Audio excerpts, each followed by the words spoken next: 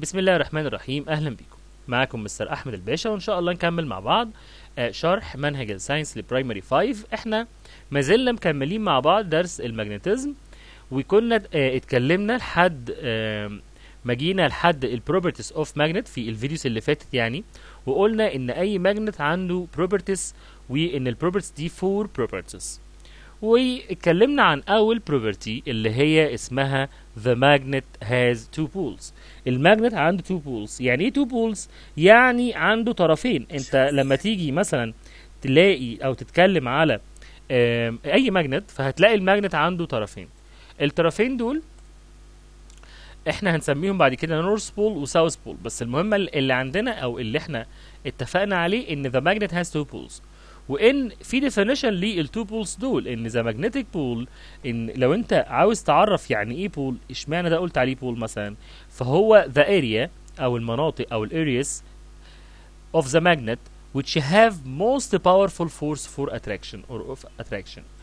فأنا لو جبت الولد ده مثلا واديته magnet وخليته إن هو يعمل attract ال paper clip فهلاقي ال paper clip متركزين عند ال two poles عند المنطقتين دول. والمنطقتين دول هم ال most attractive force أو ال most powerful force فبسميهم ال two poles طيب واتكلمنا عن إيه تاني يا مستر اتكلمنا على إن the freely suspended magnet always take fixed direction.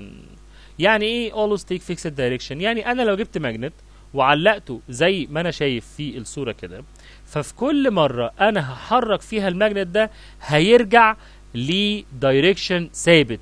هيرجع لاتجاه ثابت. والاتجاه ده إيه يا مستر؟ الاتجاه ال north and south direction ال north وال south direction في كل مرة يا مستر آه في كل مرة هتلف الايه ال magnet ده هتلاقيه رجع مكانه. وكنت شرحت الكلام ده في الفيديو اللي فات لو أنت ما شفتوش. وكنا لخصنا كل اللي إحنا قلناه المرة اللي فاتت في ال ال ال الجمل أو ال ال ال اللي قدامكم ده. The freely suspended magnet always take fixed direction which is north and south direction. أنا لما أجي أقول لك إن أي magnet هتعمل له freely moving أو هتعمل له آه، suspension يعني هتعلقه ساعتها هتلاقي إن ال magnet ده خد direction ثابت اسمه north and south direction حتى لو لفيته هتلاقيه رجع تاني لل north وال south direction طيب أنا يا مستر معرفش ال magnet اللي قدامي ده مين فيهم ال north؟ يعني ال poles اللي قدامي أنا قدامي two poles قدامي طرفين اهم يعني قدامي الأحمر وقدامي الإيه؟ الأزرق قدامي ال red وال blue. أنا ما أعرفش في مين فيهم ال north ومين فيهم ال south. طيب اللي بي ال- اللي بيشاور لل north direction هو ده ال north pole. واللي بيشاور لل south direction هو ده ال south pole. ما هو إحنا عندنا أي magnet بيبقى north pole و south pole. يعني هو هو two poles صح ولا لأ؟ هو إحنا اتفقنا إن هو two poles طب ال two poles دول اسمهم إيه؟ اسمهم north و south طب مين في دول north ومين في دول south؟ اللي بيشاور لل north اسمه north واللي بيشاور لل south اسمه south. الموضوع سهل جدا. يبقى the pole of magnet which points to north direction. ال pole of magnet اللي بيشاور على ال north direction called north pole وال pole of magnet which points points يعني يشاور points to the south direction is called south pole ال north pole هو اللي بيشاور على ال north direction وال south pole هو اللي بيشاور على ال south direction نفس الاسم يعني. كده عرفنا ال two poles وعرفنا مين فيهم ال north ومين فيهم ال south اللي بيشاور على ال north هو ال north واللي بيشاور على ال south هو ال south طيب خلينا خلينا نبتدي في property مهمة جدا يمكن أهم property في ال magnet. واللي واللي علشانها قامت صناعات كتير جدا أو آه، اختراعات كتير جدا في حياتنا قايمة على فكرة اللي إحنا هنشرحه ده.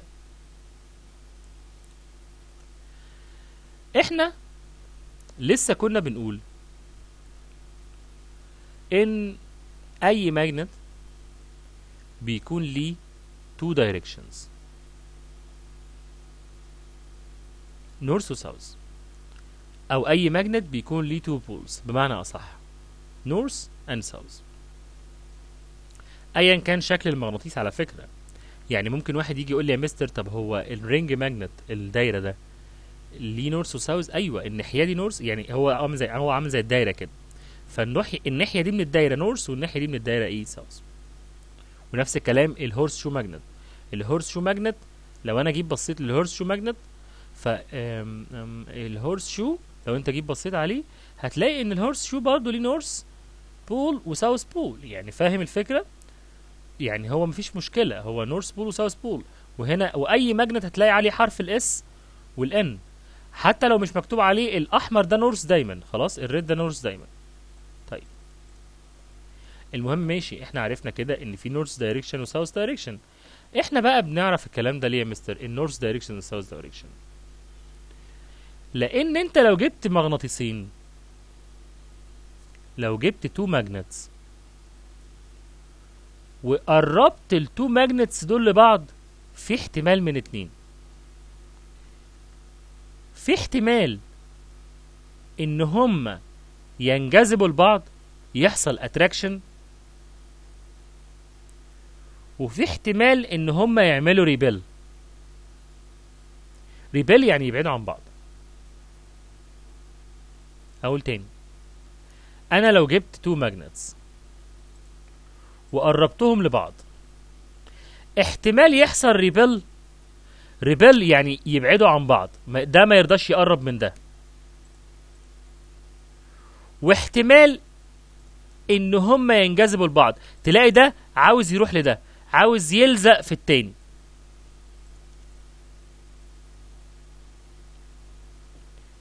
وبالتالي إحنا بدأ يظهر عندنا مفهوم. وهو إن أنا لو عندي two magnets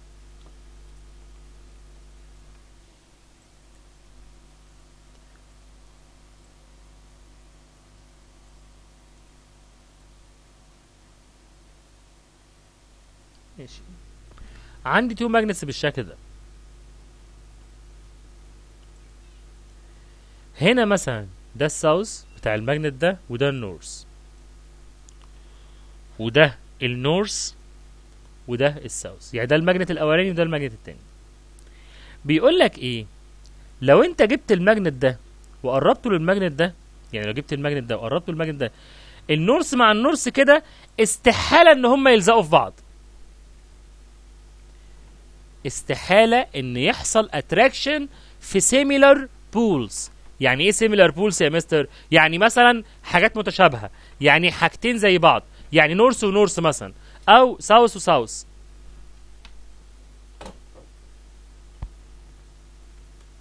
يبقى أنا دلوقتي معايا two magnets لو أنت قربت similar poles لبعض they will not attract. مش هيحصل attraction يعني هيحصل repel repel دي يعني يبعدوا عن بعض. طب لو أنا خليت different poles لو أنا قربت ال south لل north يعني قلبت المغناطيس وقربت ال south لل north هيلزقوا في بعض. لأن unlike poles unlike magnetic poles unlike يعني اللي مش شبه بعض unlike magnetic poles attract بينجذبوا لبعض. يبقى ال unlike magnetic إيه؟ attract. تعال بقى نقرأ ال activity ده. ال activity ده أو ال property دي بتقول like magnetic poles repel and unlike magnetic poles attract. المتشابهين المتشابهين يبعدوا عن بعض والمختلفين يقربوا من بعض. دايما الإنسان يحب المختلف عنه يقرب ليه عشان يكملوا يبقى ال north بيكمل ال south يلزقوا في بعض.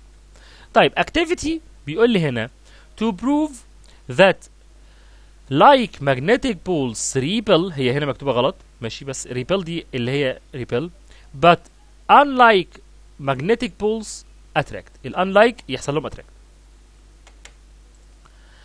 ال steps هنا أنا هلخصها لكم إن هو هيجيب freely suspended magnet هيعلق magnet ويقرب مرة الأحمر مع الأحمر اللي هو ال north مع ال north ويقرب مرة ال south مع ال south لو قرب ال north مع ال north طب ما هو ده كده north وده north دول similar يبقى استحالة إن هم ينجذبوا لبعض. طيب لما يجي يقرب ال south مع ال south طب ده S و S استحالة إن هم ينجذبوا مع بعض. يبقى هم ال ال ال ال like poles repel ال like poles not attract repel each other يبقى ال two north هيعملوا repel وال two south هيعملوا repel يعني two north poles repel each other و two south poles repel each other كلمة repel يعني يبعد عن بعض. يعني ال north يبعد عن ال north وال south يبعد عن ال south. أمال مين اللي هي مين اللي هيعمل attract ال north pole attract south pole ال north pole يعمل attract مع ال south. يبقى ال north هيجذب الايه ال south pole هيقول له أيوه أنا هقدر إن أنا أنجذب ليك. وبالتالي بقى عندنا هنا قاعدة أو conclusion مهم جدا وهو فكرة the similar magnetic poles repel each other but opposite opposite يعني المختلفين magnetic poles attract each other الايه المخ... المختلفين إيه يقربوا من بعض والمتشابهين يبعدوا باختصار شديد نرجع تاني لل property number 3 واعتقد ان إحنا فهمناها ان like magnetic poles repel and أو or while unlike magnetic poles attract طيب give reason بيقول لي هنا قول لي سبب. إن pole of magnet ال ال البول الساوث إحنا عارفين إن أي ماجنت ليه north pole و south pole فبيقول لي هنا إن ال south pole attract north pole south pole of magnet attracts the, the north pole of another magnet. But repel the south pole. يعني ال south repel south أيوه. لأن هو قصده هنا إيه؟ إن ال south ما, يج... ما ينجذبش مع ال south ي... يعمل repel.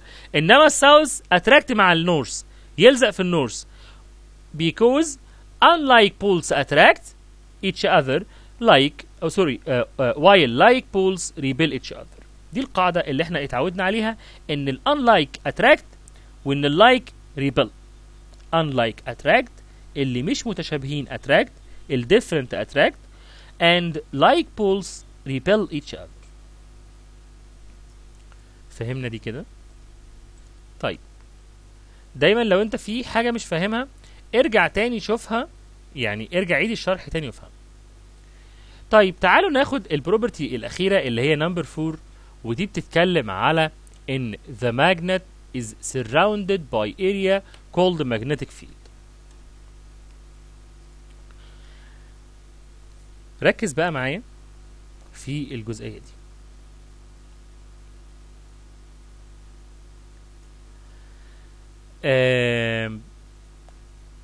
في حاجة اسمها المساحة الخارجية.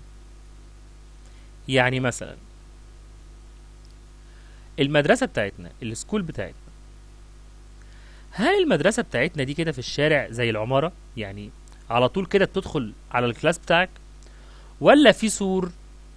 يعني المدرسة ليها السور بتاعها. اللي انت بتدخل منه الأول على ال ground على ال- ال- ال ground اللي بنعمل فيه line وبعدين تدخل على المبنى بتاع المدرسة نفسه. تبتدي تطلع لل class بتاعك. الفكرة إن في area في منطقة surround the school. في منطقة بتحيط بال school. يعني ال school مش في الشارع كده مش يعني مش بتنزل كده تدخل على المدرسة على طول لأ. في سور وفي باب وبتدخل الأول من الباب بتاع المدرسة وبعدين تحضر ال line وبعدين تطلع الايه ال آه ال- ال- ال class بتاعك. طيب نفس الكلام ال magnet. ال magnet حواليه منطقة اسمها magnetic field اسمها إيه؟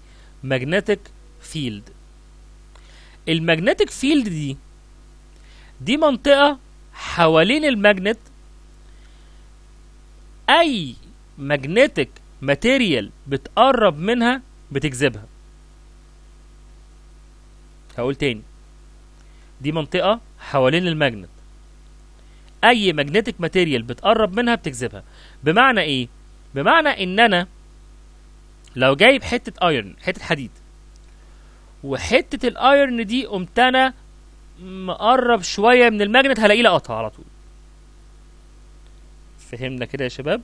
طيب يبقى the magnet surrounded by area called the magnetic field. أنا عاوزك بس تفهم ال magnetic field يعني إيه. ال magnetic field بيقول لي هنا أنا لو جبت iron filing iron filing ده يعني حديد. حديد مطحون. حتت حديد صغيرة جدا جدا جدا جدا يعني. وقمت رششها أو حاططها على magnet. هلاقي إن ال magnet كون الشكل اللي أنتوا شايفينه ده.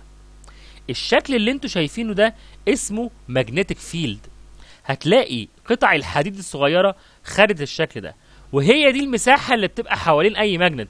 اللي بيجذب منها أو ما بي أو بيبعد اللي قدامه إيه آه من خلالها. فهنا في ال conclusion أو في ال inference ده بيقول لي هنا the magnetic field around the magnet take regular shape. بتاخد شكل منظم كده. ولو أنا خدت بالي الحديد اللي أنا رشيته على ال magnet ده متركز فين؟ آه. شفت الحديد لزق فين؟ في ال two poles ما إحنا لسه كنا بنقول إن ال two poles they are areas المناطق which has the most powerful attraction force. دي المناطق اللي فيها أكتر attraction force. صح ولا لأ؟ يبقى ال magnetic field وضح لي المنطقة اللي بتحيط بال magnet. وضحت لي إن المنطقتين اللي اسمهم magnetic poles هم أكتر منطقتين فيهم قوة. يبقى أنا هنا the greatest magnetic force. كلمة magnetic force يعني قوة. قوة المغناطيس. The greatest magnetic force of magnet is concentrated. كلمة concentrated يعني مركزة. At the two poles of magnet. متركزة عند ال two poles of إيه of magnet. طيب هنا مقارنة عن أو كومبير كده ما بين حاجة اسمها magnetic field وحاجة اسمها magnetic force. إحنا اتفقنا ال magnetic field ركز بقى في الحتة اللي أنا هقولها دي. ده magnet ال magnet ده بيكون حواليه منطقة قوة. المنطقة دي أي حد بيقرب منها طبعا هي أنا برسمها كده بشكل عشوائي بس هي بتبقى منظمة و regular أكتر. ده مثلا ال south pole وده ال north pole. أي حد بيقرب من المنطقة دي ماشي بتلاقي إن إيه؟ أي حد بيقرب من المنطقة دي كلها كده من الحتة دي كلها كده بتلاقي إن الإيه؟ إن هو انجذب لل magnet طيب اللي انت شايفه قدامك ده أو اللي انت اللي أنا اللي أنا رسمته بالأحمر ده الخطوط اللي أنا رسمتها بالأحمر دي اسمها magnetic field دي عبارة عن إيه ال magnetic field دي؟ ال magnetic field دي عبارة عن the space region كلمة space region يعني المنطقة. around the magnet. دي المنطقة اللي حوالين ال magnet where the effect of magnetic force appear. يعني بص أي magnet حواليه منطقة. المنطقة دي اسمها magnetic field ال magnetic field دي لو الخطوط لو الخطوط اللي انت شايفها دي كتيرة قوي فبيبقى ال magnet ده قوي. مش إحنا عندنا magnet ضعيف و magnet قوي؟ طيب يعني إيه magnet ضعيف و magnet قوي؟ ما هو أي حتى البشر في بشر أقوياء وفي بشر ضعفاء. يعني إيه. يعني إيه شخص قوي؟ شخص قوي ده إن هو ممكن يمسكك يديك علقة حلوة وانت ما تعرفش تعمل معاه حاجة. ليه؟ لأن هو قوي. هو إيديه قوية وهو جسمه قوي وبالتالي يعني إيه إيديه قوية؟ يقدر يمسكك بقوة. وانت لو قوي انت لو أقوى منه هتعرف تضربه. فاهم الفكرة؟ ده example طبعا مش هنضرب حد ولا بس هي الفكرة إن القوة منطق الايه منطق القوة. فأي magnet في magnet في مغناطيس قوي جدا وفي مغناطيس ضعيف. فال magnet القوي بيكون عنده أو يعني بيكون عنده magnetic force قوية. كل ال magnet عندهم magnetic field أي magnet حواليه الخطوط دي.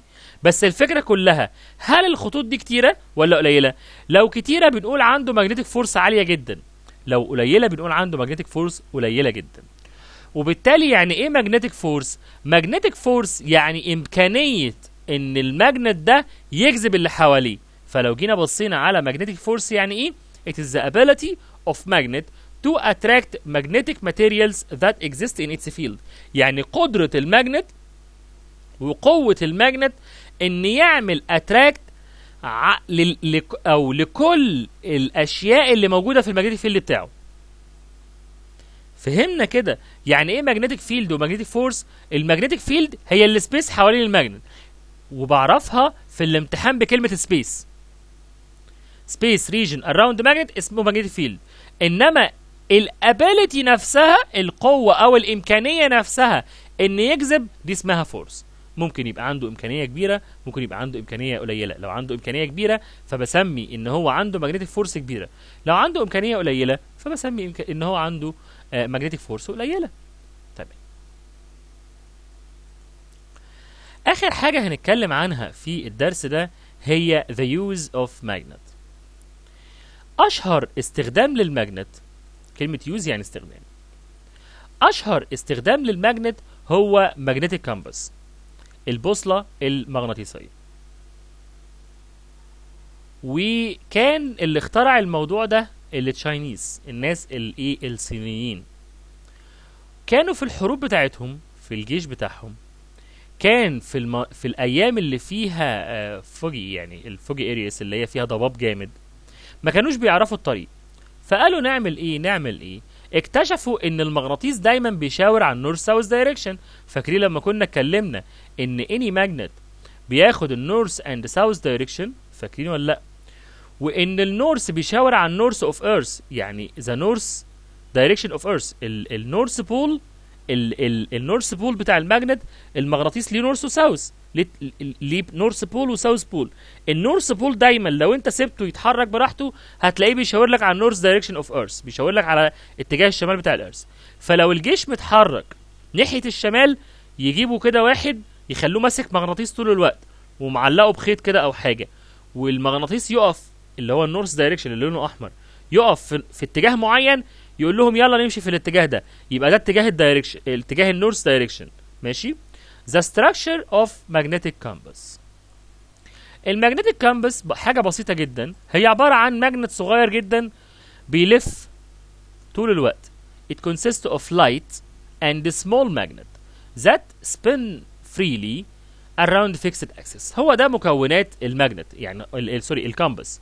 ال compass بتتكون من light light يعني light مش يعني ضوء. light يعني خفيف light and small magnet بيتكون من magnet صغير وخفيف that spin or that spin or that can spin يعني يقدر يلف freely around fixed axis fixed axis يعني عند نقطة ثابتة يعني يقدر يلف عند نقطة معينة where the north pole of magnet ال ال north pole of this magnet refer to north direction of earth and the south pole refer to the south direction of earth. يبقى النورث بيشاور على النورث والساوث بيشاور على الساوث ماشي؟ طيب. The importance of magnetic compass. أهمية المagnetic إيه compass أهمية المagnetic compass طبعا to identify main for geographic direction. أنا عاوز أقول لك إن في الامتحان بقى آخر السنة مفيش امتحان في الدنيا ما بيجيش فيه compass عشان بس تبقى فاهم. لازم تكون فاهم ال compass دي كويس. إن ال compass بتتكون من إيه بتتكون من light لو انت طبع الملزمه and small magnetic uh, sorry light and small magnet that can spin freely around fixed axis تحفظ دي وان ال north pole refer بيشاور على ال north direction of earth طيب بيجي في الامتحان دايما importance اهميه ال magnetic compass it is used to identify the main four geographic direction it is used to identify the main four geographic direction لازم تكون حافظها وعارف إن هو بيشاور على ال main four geographic إيه direction يعني إيه يا mister main four geographic direction الاتجاهات الأربعة. الشمال والجنوب والشرق والغرب. اسمهم four geographic direction الاتجاهات الجغرافية الأربعة. ال north يعني شمال south يعني جنوب east يعني شرق west يعني غرب. فلو أنا معايا compass معايا بوصلة والبوصلة دي فيها مغناطيس صغنن جدا والمغناطيس ده خفيف ومتعلق جوه ال compass كده.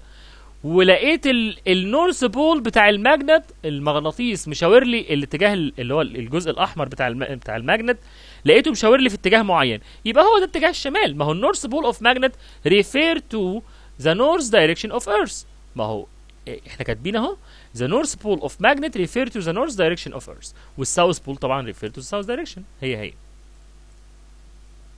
ده ملخص لكل اللي إحنا قلناه ماشي قلنا ان في حاجة اسمها magnetic poles تعال نقراها مع بعض they are or um, they are the areas of magnet which have the most powerful force of attraction وإن the magnetic field is the space region around the magnet in which effect of magnetic force appear دي المنطقة و- وقلت إن أنا هعرفها بكلمة space هعرفها بكلمة space طيب وهعرف المagnetic force بability إحنا قلنا force يعني ability force يعني إمكانية um, is ability of magnet to attract the ma- uh, magnetic material that exists in its field طيب the compass it is the tool that is used to identify four main geographic direction بكده نبقى خلصنا درس الماجنت وعلى فكرة درس سهل جدا جدا يعني ما فيهوش حاجة بس انت لما تطبع الملزمة وتيجي تتفرج على الفيديوهات تاني هتلاقي الموضوع سهل جدا. بتمنى لكم إن شاء الله كل التوفيق. تحت الفيديو ده هتلاقي آه، لينكات تهمك جدا لينكات للفيديوهات اللي إحنا بنشرحها كلها. وهتلاقي لينكات ل group الفيسبوك والواتس آه، و... آه sorry group الفيسبوك وصفحة الفيسبوك. وهتلاقي link كمان لتحميل الملزمة دي. ذاكروا كويس. وأي حد عنده سؤال يقدر يبعت لي على الواتساب بتمنى لكم إن شاء الله كل التوفيق. كنت معاكم مستر أحمد الباشا. bye bye.